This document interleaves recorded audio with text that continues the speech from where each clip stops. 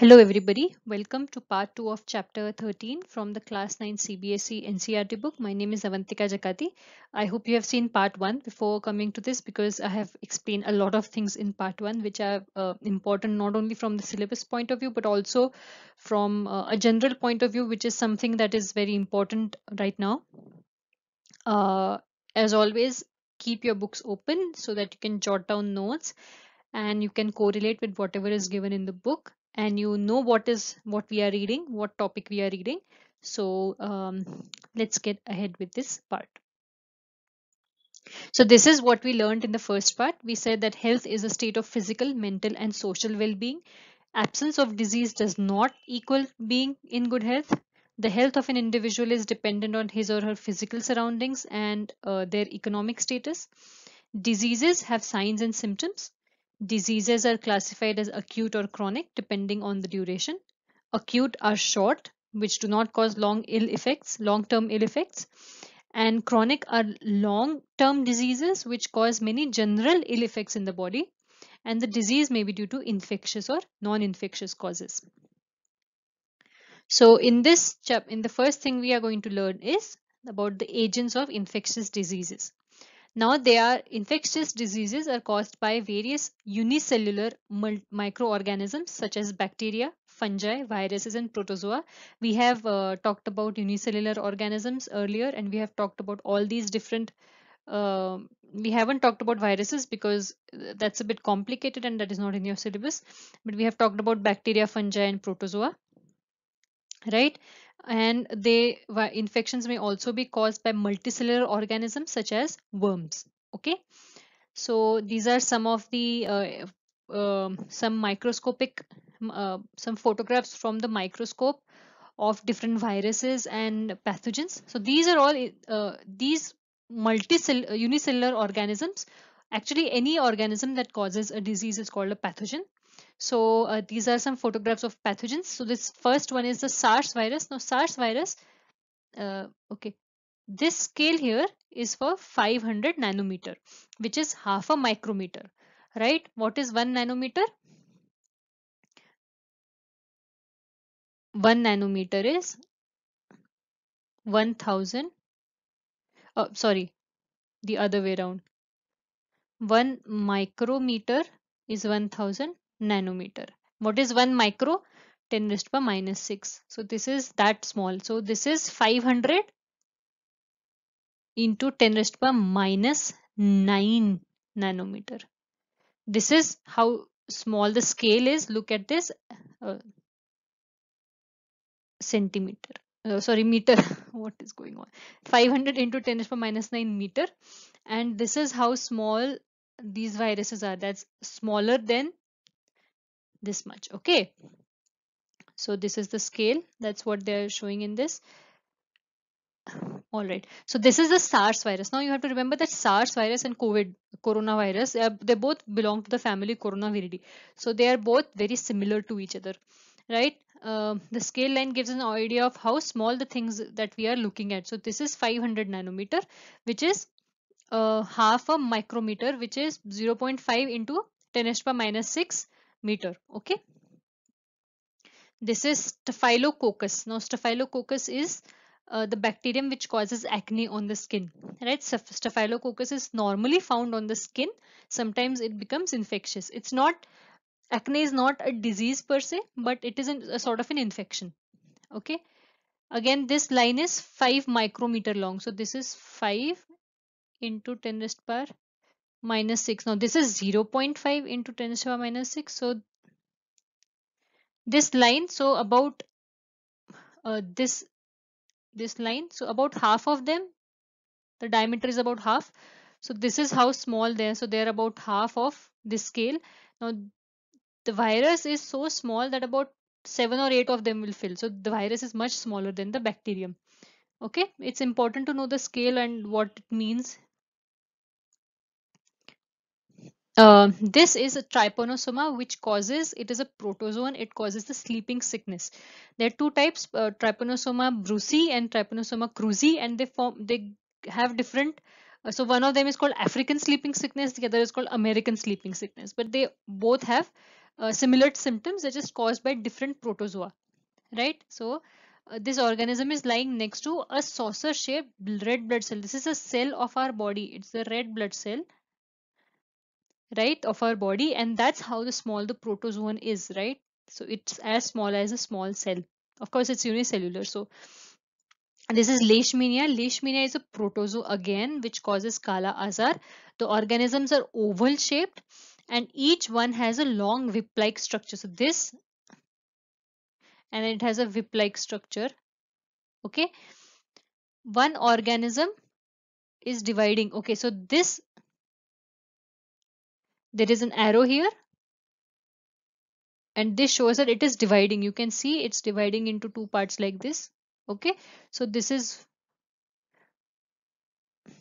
is dividing while a cell of the immune system lower right has gripped onto the two whips of the dividing organisms and it's sending cell processor up to eat the organisms. Now this is this is probably something called a macrophage because that is what actually eats uh, uh, we have cells in our body that actually eat the protozoa uh, eat microorganisms you know? That is a part of the immune system. So you can see that this is trying to this leishmania is trying to uh, divide multiply whereas the immune system is fighting it. So this is sending a processes this is a process or a, a structure. And uh, it is trying to go up so that it engulfs it completely. Huh? usko pura covers it up and then it can digest it. So it basically eats it up. This is probably a mic macrophage okay? Then then this is okay this is an ascaris. This is a worm. This is found normally in our body and uh, it is normally found in our body as a um, uh, as a as a pathogen uh, as a as, as a parasite actually. Um, and and ascaris has the female is longer the male is smaller and uh, so ascaris lumbricoides is found normally in intestines and it can grow very very long.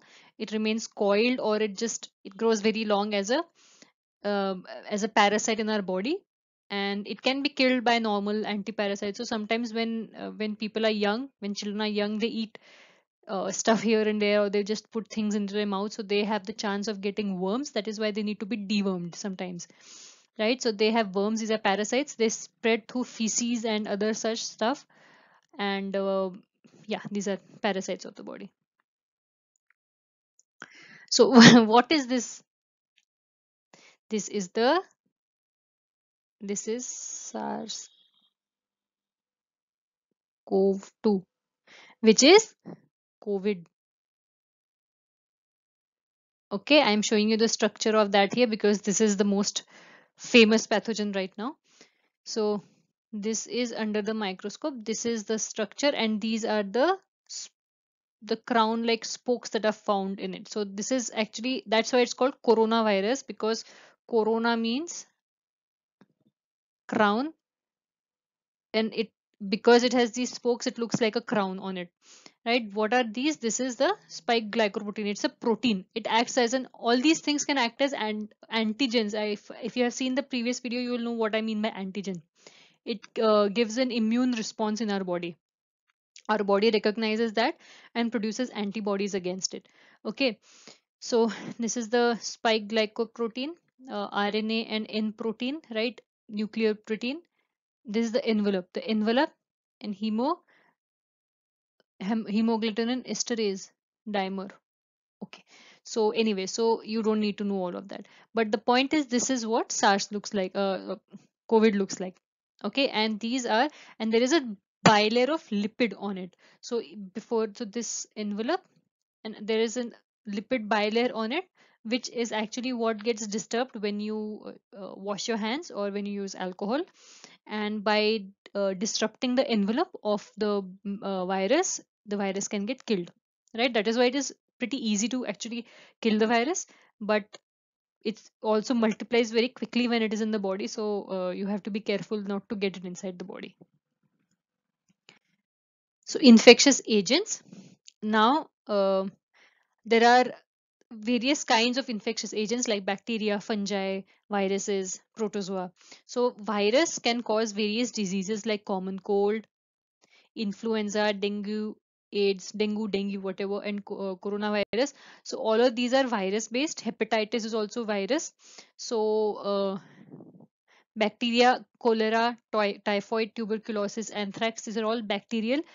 Um, this is Bacillus anthracis, mycobacterium, and cholera is Vibrio cholerae. Typhoid is uh, uh, Salmonella typhi. Then you have fungi. Fungi mostly cause skin infections. So you might see ringworms or something like that on the skin. It can itch. Sometimes you have corn on their feet or uh, you have some rashes. There's, those are fungi. Those are also quickly solved by some uh, treatments. Then you have protozoa. Malaria is caused by a protozoan, right? Uh, Plasmodium vivax. And you have Kala Azar, Leishmania that we saw in the previous slides. Then you have worms such as intestinal worms or elephantiasis. Now elephantiasis is a disease that is caused by filarial worm, right? Uh, what is elephantiasis? I have, I have told you, I have spoken about it in one of the previous videos in one of the chapters where uh, the the foot, the lymph glands get swollen and therefore the foot looks very big. The foot becomes very big, right? And that is elephantiasis that is caused by a worm that is caused by a worm infection that is why it's a disease and it's a chronic disease like we spoke about in the previous video. So these classifications are important to decide the treatment to how to treat a disease depends on what kind of infectious agent is present. Whatever in, uh, works on worms will not work on virus will not work on bacteria. Or what works on a bacterium will not work on a fungus right? So all these things need to have different kinds of treatments. Now the difference is because for example a virus a virus can live only inside a host cell. A virus cannot survive outside of it. When there is a virus outside on something eventually it cannot multiply and eventually it will die off. There is it will only survive for uh, however long that it does now you if if you have seen some covid guidelines you must have seen that uh, people talk about cardboard पे 72 hours रहता है या इस पे इतना time रहता है वगैरह so the virus will not will not be able to multiply unless there is a living cell so but that is not the case with bacterium bacteriums do not live inside the cell they survive outside the cell and they can survive even without living cells right viruses especially need living cells to multiply and to basically uh, propagate their own uh, self but bacterium doesn't need that. Bacterium doesn't need to go inside a cell. It doesn't need to use this machinery of the cell which is what a bacterium does uh, virus does. So there's again another difference is that viruses and bacteria multiply quickly whereas worms multiply slowly right? And all bacteria like all bacteria are more closely related to each other than to viruses है ना सो bacterium के जो characteristics हैं those are specific for bacteria and those are not the same as viruses so all viruses have some specific uh, things that are common to virus that is why they are classified we have talked about it in classification that every group has specific uh, characteristics that is why they are grouped together right so mammals have certain characteristics and fish have certain characteristics and birds have certain characteristics. In a similar way all bacteria have certain characteristics. Viruses have certain characteristics and they're different from each other right? So whatever works on one bacterium may not affect a virus and vice versa. Whatever works on virus may not affect a bacterium. Also what affects one bacterium may not affect the other bacterium also. This is a more uh, uh, more close difference between them it is a more uh, so this is a broad difference right? Bacterium and virus that's a broad difference. So you know that you cannot use antibiotics on virus. So virus hai to you should not uh, use antibiotics. Within bacteria then you have various bacteria and then you have to decide treatment according to which bacterium it is right? Because each bacterium has a different characteristic.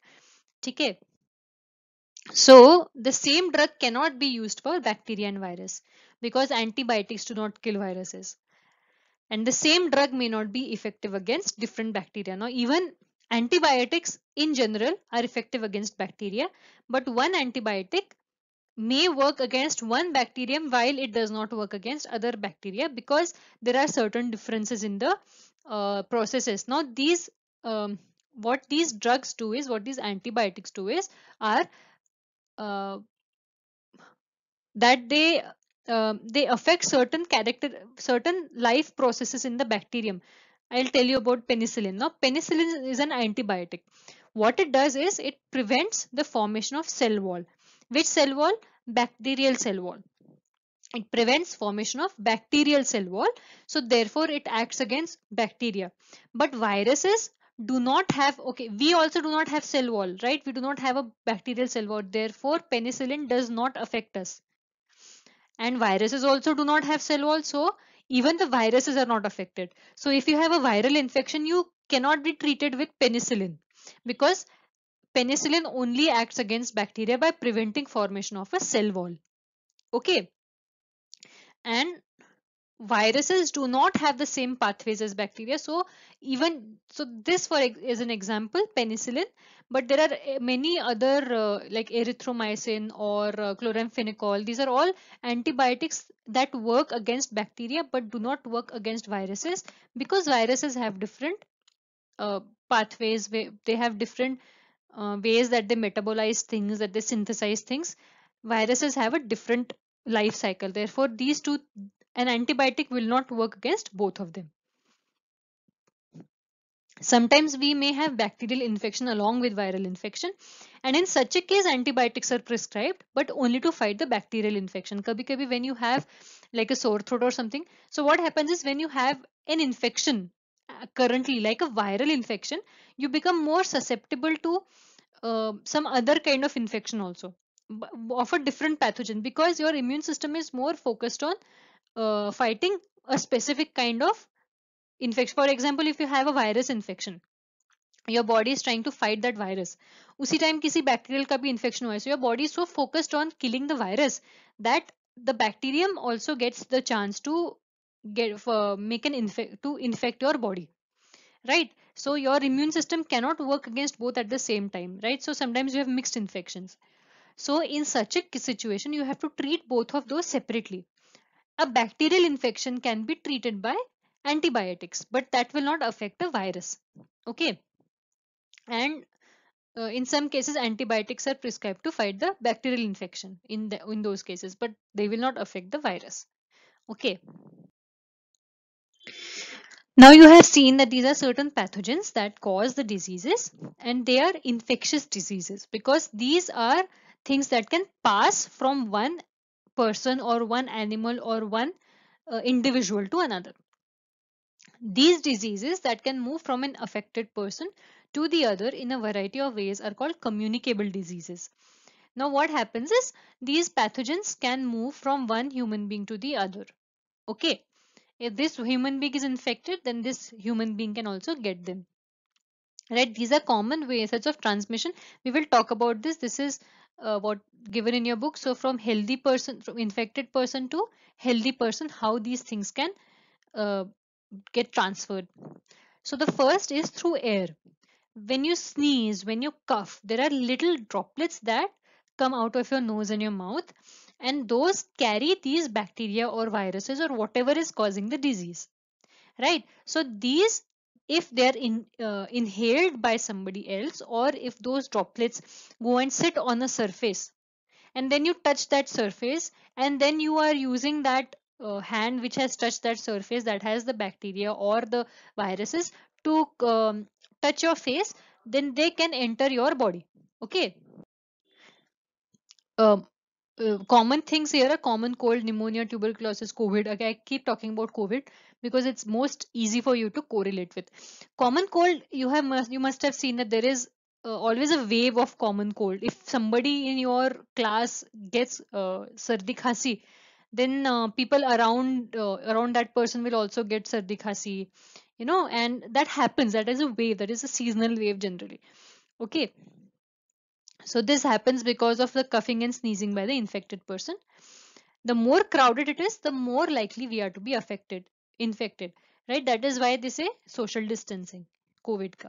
and that works for all of these things. That works for all these diseases that spread through air right? But there is a, a difference between being airborne and being borne on droplets right? That is a uh, big this that is a, a more uh, fine distinction. So i don't know if you need to know about this but okay so through air most of these can pass. And uh, then you have them through water. So if excreta of an infected person gets mixed with drinking water then you can have uh, such diseases such as cholera even botulism. Botulism is food poisoning right?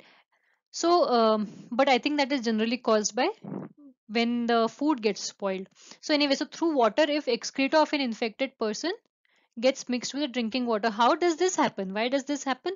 How can the excreta of a person get mixed with drinking water? This is when the water supply isn't uh, proper or uh, if like the pipelines have broken or in uh, especially in areas where the living conditions aren't very healthy such as the very crowded slums or where the water supply is really dirty or even when people uh, if they don't have any toilets they go and uh, do their business in the water or and that water is can often be used uh, by after some certain disinfection for drinking purposes. But it is possible that in that small filtration whatever filtration happens then this bacterium doesn't get killed so through water there are so many diseases such as cholera and cholera has had a lot of epidemics we have had, had a had many epidemics in India, cholera epidemics, and that has been a lot of problem because for a long time people didn't know what spreads cholera, right? Uh, how cholera is spread and as in what really happens that cholera spreads. So people eventually realize that it is because of hygiene and sanitation. So if you have toilets, if you ensure that people who are infected with cholera are, uh, you know, treated well or you know they are kept separately and whatever their excreta is doesn't get mixed into other things. If that happens then cholera outbreaks can be uh, controlled. But in previous times this was not known. So once there was a cholera outbreak there will be like hundreds of people thousands of people infected by that and a lot of people died because this causes chronic uh, dehydration okay it spreads more in the absence of safe drinking water then there is something called okay so this is through water then this is through sexual contact this is generally through bodily fluids like AIDS or syphilis. HIV AIDS, uh, this is very commonly known as uh, something that spreads through sexual contact. Even hepatitis can spread through uh, sexual contact.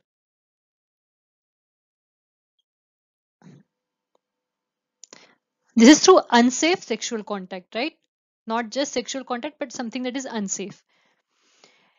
It does not spread through normal bodily contact right? If you shake hands or if you hug or if you eat food with somebody or you know do do these small things and it is not going to spread through normal bodily contact okay? Because your body the aids virus is not sitting on your hand ki wo, and you just shake hands and it passes. No. It is found in the bodily fluids and what happens is those bodily fluids have generally have to come in contact with the bloodstream. And only then do they uh, cause actually cause some problems so you have you don't discriminate against people who have these uh, diseases. But you have to be careful. Spread they spread through blood sexual contact or even through even from an infected mother to her unborn child during pregnancy or breastfeeding and uh, but these things can actually be nowadays they can be uh, transferred from an infected mother to the child or through breastfeeding can actually nowadays be suppressed by uh, the use of certain drugs. So even an infected mother, uh, a mother who is infected with HIV/AIDS can give uh, birth to a healthy child without who doesn't have HIV, right? Uh, so there are various ways these can be prevented. Okay, so we'll talk about prevention further ahead. So these are common ways of spread of uh, the uh, diseases: air, water. These are called airborne waterborne born not born okay there's a difference between born and born born is to be born there you know you are born there you born somewhere वहां पे पैदा हुए थे right ये पैदा नहीं हुए हैं air water and sexual contact से these are born as in these things bear it हाँ उसको एयर contains it. Air में पैदा नहीं हुआ है एयर के एयर में वो रहता है, या वाटर में रहता है, उसके थ्रू स्प्रेड होता है. That is why it is called borne with an E this is the correct thing this is wrong here so, it is airborne, waterborne with an E. And sexual contact borne नहीं होता airborne waterborne ऐसे generally कहते हैं okay means of spread. Now many of these agents are also spread by animals. Now what have we seen here? We have seen that there's an infected person and there's a healthy person. Now there is a there is direct contact right? This handshake does not spread hiv aids right? Handshake spreads things like covid right? When you have particles on your hand even common cold and all of these things can be spread by handshakes right? When you sneeze on your hand or when you touch like your nose if you are infected and if you touch your nose or something and you get some bodily fluid or virus on your hand you can't see it so you won't know ki wo hai ya nahi hai. But then you go and shake hands with somebody that the other person will also get that on the hand and eventually has the possibility of getting infected. This is uh, kissing. Kissing also cause can uh, cause um, transmission of these diseases because these are direct because this is body flu bodily fluid the saliva is a bodily fluid and that can cause uh, transmission of sexually contact sexual diseases. Then you have by air so airborne and this is like common cold covid vagera indirect contact this is through like the clothes or this thing or like you you share some uh, utensils and all. So if you have saliva the saliva of a person that you uh, use if you somebody uses those utensils immediately without washing that is indirect contact that also passes diseases. Okay. And then you have by food right? By food when the food is infected right? When the food is infected such as even typhoid or uh, um, even cholera cholera bhi ho sakta hai because water is also included here. So cholera typhoid these are spread through uh, food and then you have mosquitoes or insect. We'll come to these two points abhi. So many of these agents are spread by animals. Animals may themselves be infected. For example uh, rabies. Dogs that are rabid they are also infected by rabies. And uh, they can spread rabies. And they or they may act as reservoirs of the infection. Right? So they only have that infection in there. For example like the saliva or somewhere but they are not themselves affected by it right? So these are zoonotic diseases. Such animals that carry these uh, diseases are called vectors. I spoke about vectors in the previous uh, video also when i talked about flies like when we talked about the five f's. So flies you had to reduce uh, the number of flies and you had to prevent them from sitting on your food because they are vectors. They carry diseases. These animals are called vectors they transmit infection from an infected person to a potential host right? Most common is mosquito. Everybody knows about mosquito. Everybody knows what a mosquito spreads right? Like malaria or dengue or chikungunya or uh, zika virus right? These are all spread by or encephalitis japanese encephalitis all of these are spread by mosquitoes. Mosquitoes are the most common uh, vectors because they are very widespread and there's a lot of different mosquitoes that spread different diseases. And because they directly feed on your blood right? So baki kaise hota hai flies wagera they don't feed on your blood. They sit on food and you might ingest it. But mosquitoes directly put things into your bloodstream because they bite and feed on blood and can inject bitten person with a disease. So what they do is they uh, they can go and if it is uh, like if an if a mosquito has uh, it actually goes to a house and it bites a person who is suffering from malaria. Then that mosquito will have the malarial pathogen in its uh, in its bite. So whenever it bites another person then he the mosquito can spread the plas, uh, plasmodium vivax which is the pathogen into the other person and that can uh, the person can also start suffering from malaria. So this is spread by female anopheles mosquito so if it bites a human with malaria, carries the protozoan Plasmodium vivax, injects into another person where the protozoan can grow and then causes malaria. Okay, so it is a human being, mosquito. This is a mosquito, okay, not a bird. And then again another human. Then you also have a female Aedes aegypti. Aedes aegypti to बहुत करता है because it gives dengue, chikungunya, Zika. Okay, similar principle. Then you also have Culex. Culex species is the one one that transfers filarial worm for uh, that causes elephantiasis.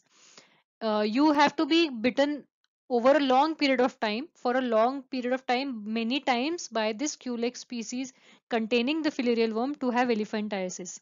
Okay. Bats are also a big uh, they are big vectors because they carry many many diseases. For example these are and these are all virus. Okay these are all viruses. So bats are reservoirs and they are not themselves infected right? So they apparently covid has come from bats but there is not just covid but all the, the sars ebola nipah these are all from bats right? So bats carry these these are called zoonotic diseases. Zoonotic diseases are those that are spread by that uh, by, by animals. Okay so ebola sars nipah nipah was in kerala right? If you know about ebola do you know about ebola? If you don't you should go and read about it. It's a terrible disease uh, by the virus ebola virus. And uh, uh, it was mostly found in africa so there have been a few waves of ebola that keep happening and now thankfully there's a vaccine which is a very good thing um, right? And you have sars. Sars also was uh, in china in 2000 i don't remember when but there was a big wave of sars. And uh, we also have time to time we have things like swine flu which is also a virus based uh, uh, in flu like virus and uh, anyway in this you also you can also add animals such as uh, dogs cats. Actually bats also can spread rabies. So all of these can spread rabies also. So rabies virus is also a zoonotic disease okay?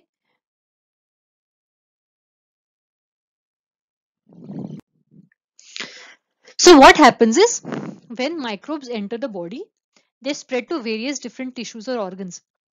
Now you breathe some organism in.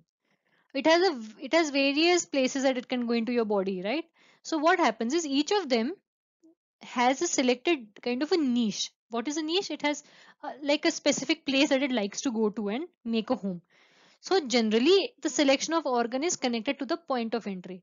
So airborne viruses are generally those that infect the respiratory tract or the lungs or the uh, nasopharyngeal this all this tract basically from your nose to your lungs the bronchus and all that. So all of so the selection of organ is connected to the point of entry. Even waterborne diseases generally go into the stomach or the hepatitis or liver or you know stuff like that or the or the or the intestines. So air lungs pneumonia mouth gut lining such as typhoid air like uh, pneumonia uh, covid common cold all of these things. Mouth if it if you ingest something then it can affect the gut lining. For example typhoid if you have infected food uh, typhoid uh, which is spread by the bacterium salmonella typhi can infect you.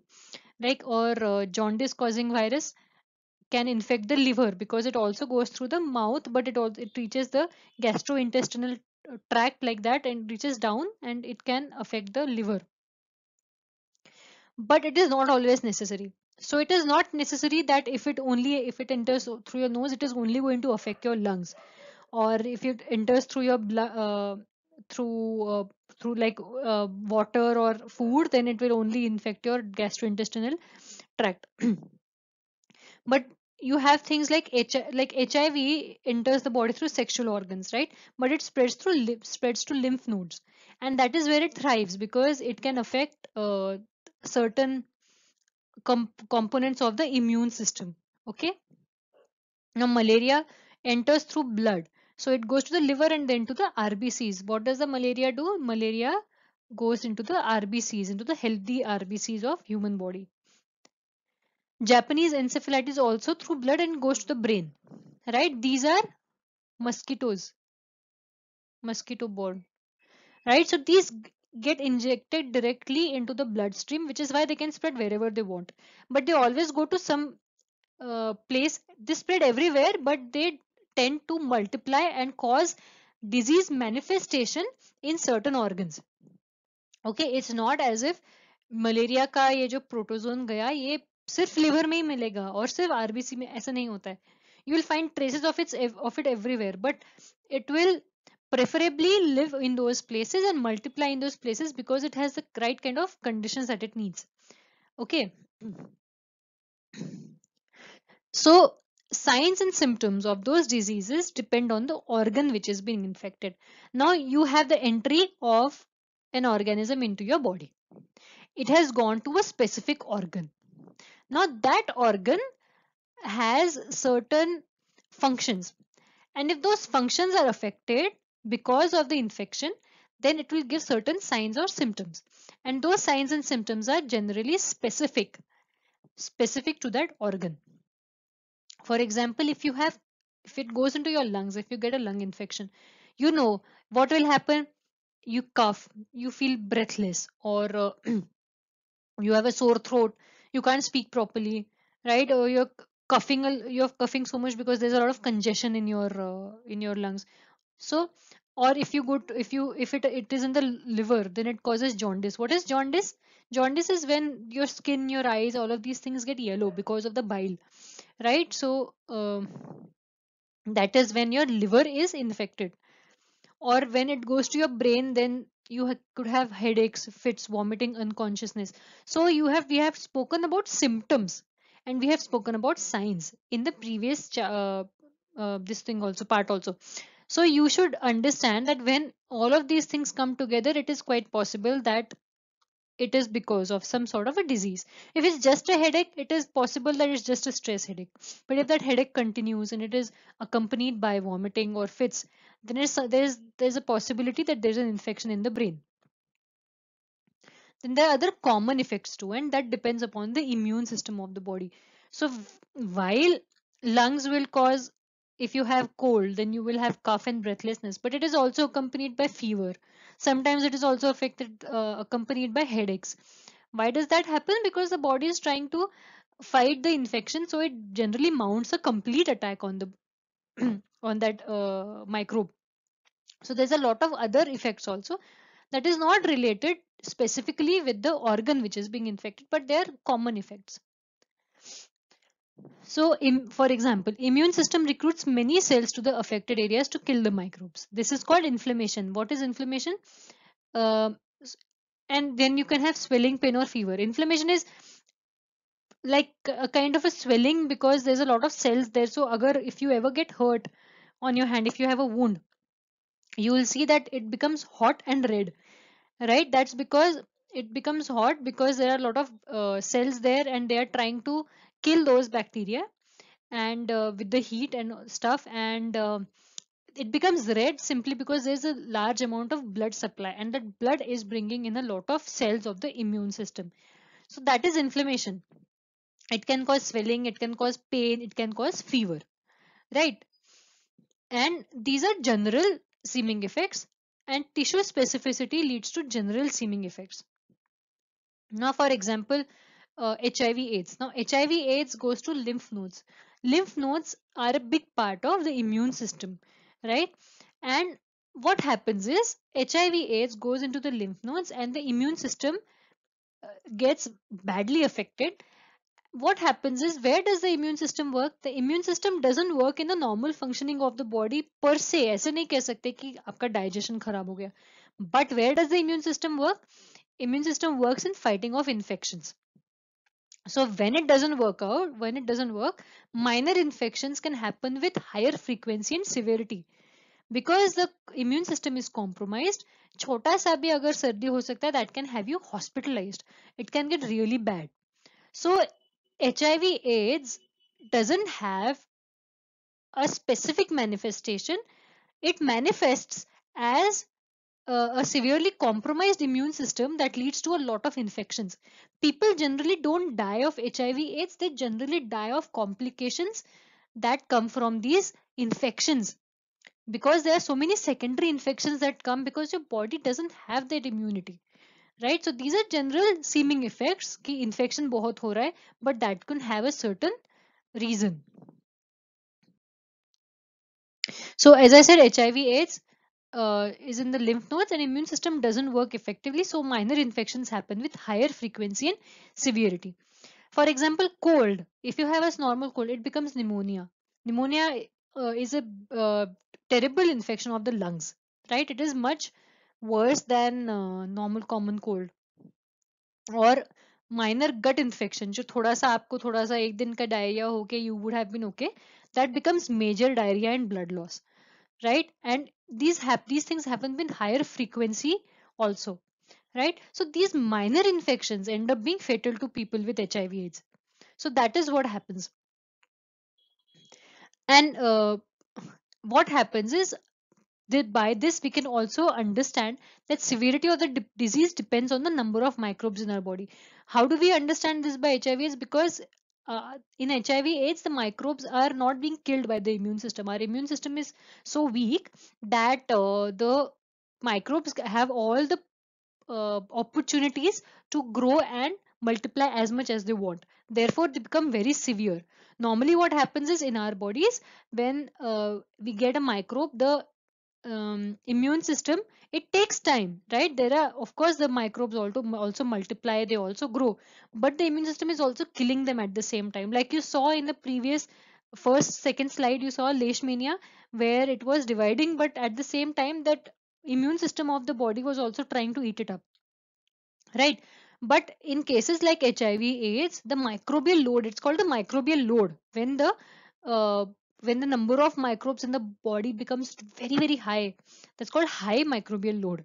Which is when it's low it's called low microbial load right? So the, the severity of disease depends on the microbial load okay? If the number of microbes are smaller it is relatively minor or unnoticed manifestation right? But if the microbial load becomes very large the disease may be severe or life threatening okay so immune system is a major factor which determines how many microbes survive in our body right? So the immune system starts immediately. We every single part of our body has some or the other uh, something or the other that is uh, that acts against these microbes. Even our skin has certain uh, uh, secretions which help it to fight the bacteria our nose our mouth all of these things from where we ingest or inhale things also have certain linings like the mucosal linings which trap these bacteria and there are immune cells which can kill those bacteria right? So the immune system is a major factor that determines the microbes so what happens is the microbes the immune system will not let the ba bacteria for example if some uh, cold bacterium has entered my nose and it uh, gets trapped by the uh, mucosal lining of my nose right? The bacteria will uh, the bacteria get trapped and then the immune system cells come and then they eat the bacteria or kill the bacteria. So the bacteria don't progress any further than my nose. Maybe there is a few there are a few bacteria that go and start to multiply in my body but there are immune cells everywhere in every single part of the body.